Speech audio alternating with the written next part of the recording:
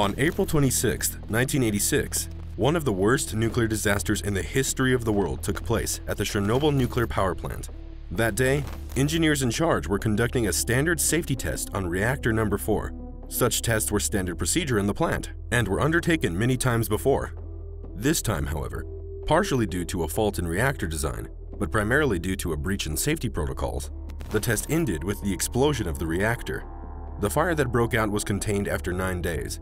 During this period, tons of radioactive dust was released into the air. The amount of radiation emitted was 400 times more than the atomic bomb dropped on Hiroshima. The radioactive cloud spread from Chernobyl in the Soviet Union across the European continent, reaching its westernmost edges.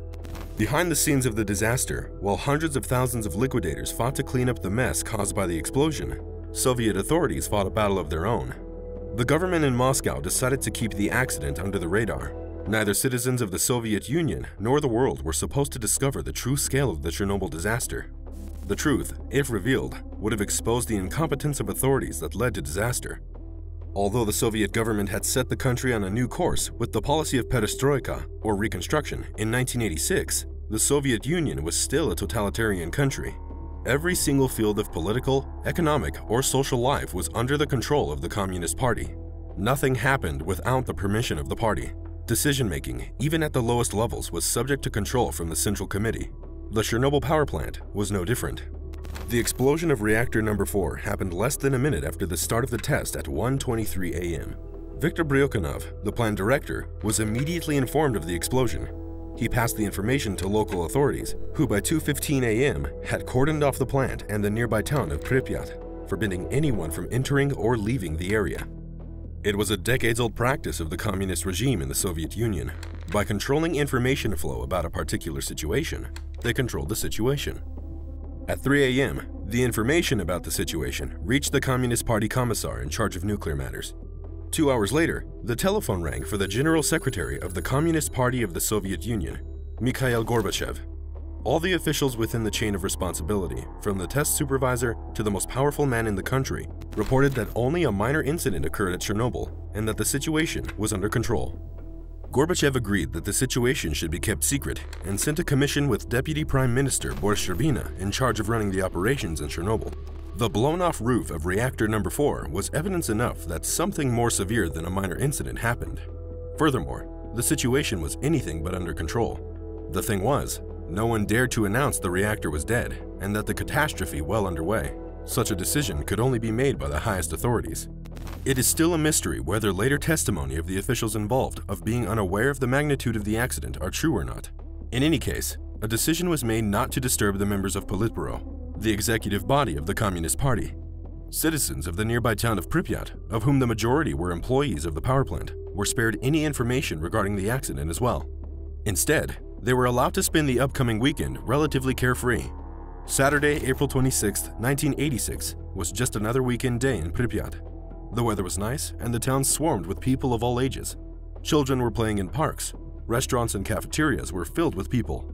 Entire families were out to enjoy the mild spring sun. However, none of them was aware that there was something else in the air besides the cheerful atmosphere. The authorities kept citizens of Pripyat in the dark and denied them information that the radioactive cloud was already over their heads.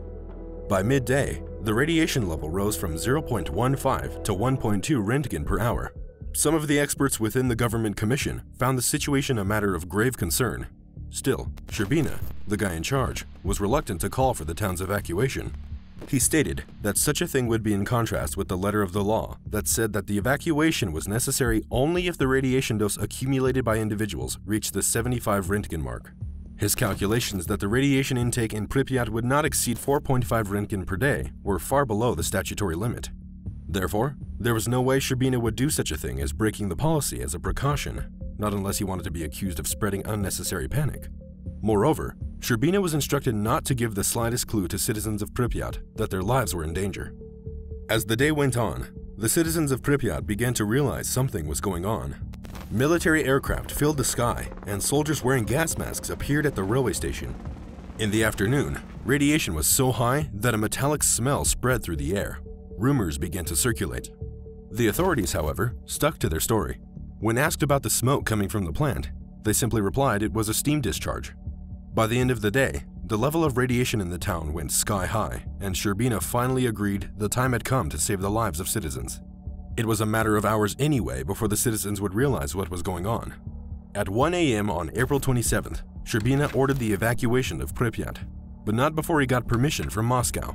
Early in the morning, the Pripyat radio station made an official announcement that unfavorable radiation conditions were developing in the city of Pripyat and that the residents had to evacuate temporarily to nearby settlements of the Kiev province.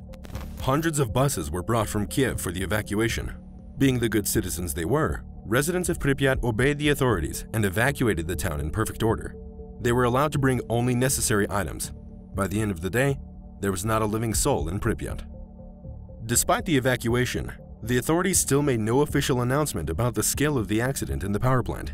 However, the first short announcement was aired on Monday, April 28th. An accident has taken place at the Chernobyl power station, and one of the reactors was damaged. Measures are being taken to eliminate the consequences of the accident.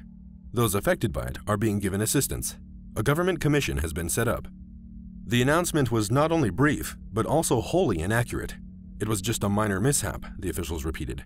The drinking water from the reservoir near Pripyat was declared safe, the irradiated buses that were used for the evacuation were returning to their regular routes in Kiev. There is no mention of the radioactive cloud hovering over the area. The message from the authorities was everything was in perfect order. The truth, they thought, would cause unwanted panic and undermine their own positions and the authority of the party. The approach of the national holiday, Labor Day, on May 1st, was yet another reason to avoid negative publicity and possible chaotic scenes. Indeed, on May 1st, a grand outdoor parade was held in Kiev. Thousands of people paraded in the streets, completely unaware of dangerous radiation spreading from a plant less than 70 miles away. The Soviet government was determined not to reveal a disaster was going on. Not only the entire nation was kept in the dark, but also the entire world, especially the world. If the world found out that a reactor exploded in one of the Soviet Union's nuclear power plants, it would severely impact its international reputation.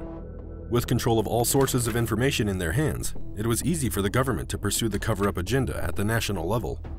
However, keeping the disaster secret abroad turned out to be an impossible mission once the radiation began to spread outside the borders of the Soviet Union and the reach of communist authorities. The first non Soviet location to detect excessive radioactivity in the atmosphere was the Forsmark nuclear power plant in Sweden, 700 miles from Chernobyl. On April 2nd, they detected higher levels of radioactivity than normal, it didn't take long before they realized that this was a result of a major nuclear catastrophe. Measurements traced the source of radioactivity to Ukraine, at the time a federal unit of the Soviet Union. As the radioactive cloud continued to spread across the continent, the Soviet secret began to be revealed. In Bonn, one of the scientists from the Soviet embassy asked his German counterparts for advice on extinguishing a graphite fire in a nuclear reactor core. Little by little, fragments of reports on the nuclear disaster were reaching the public worldwide. A few days after the Swedish discovery, the entire world overwhelmed the Soviets with questions about what was going on. The radioactive particles were settling on people and crops, endangering the lives and health of millions. The Soviet government remained dead silent, not saying a single word about the accident. Moreover, foreign reports about the disaster were denounced as capitalist propaganda against the Soviet state. The Soviet reluctance to cooperate on this matter only infuriated the Europeans, especially those closest to the Soviet Union neighboring countries immediately imposed embargoes on the import of goods from Ukraine. The worldwide community called for international control over the entire Soviet peacetime nuclear program. With each day, the pressure grew on the Soviet government to speak. In the end, the burden of responsibility became too big for both Gorbachev and the party. Finally, a week after the explosion, Soviet officials admitted that an accident had occurred, but maintained it was a minor one when the firemen finally extinguished the fire in reactor number 4 on May 6th, Gorbachev decided to come clean with the whole truth. On May 14, he revealed what happened at Chernobyl in a short speech on the Soviet national television. The accident at the Chernobyl nuclear plant has painfully affected the Soviet people and shocked the international community. For the first time, we confront the real force of nuclear energy out of control. The world was angered by Soviet reports of the disaster that put the entire continent in danger but not as much as with the fact that the government in Moscow tried to hide it from the world. The initial enthusiasm with Gorbachev's reformist policy disappeared. The world realized that the Soviet Union had changed little since the period of the Iron Curtain. Gorbachev's speech caused chaos in Kiev, whose citizens fled the city in panic. The entire Soviet public was disappointed with how the authorities handled the situation. The fact that the government put the lives of citizens in danger to cover up their responsibility for the disaster was defeating. The political climate in the Soviet Union was such that the affair caused no immediate consequences for the government in Moscow. However, perhaps more than anything else, the Chernobyl disaster and the government's cover up agenda led to the collapse of the entire system and the end of the Soviet Union five years later. For more videos on the most amazing forgotten parts of our history, be sure to subscribe to the Intrigued Mind channel, like the video, and leave your suggestions in the comments below.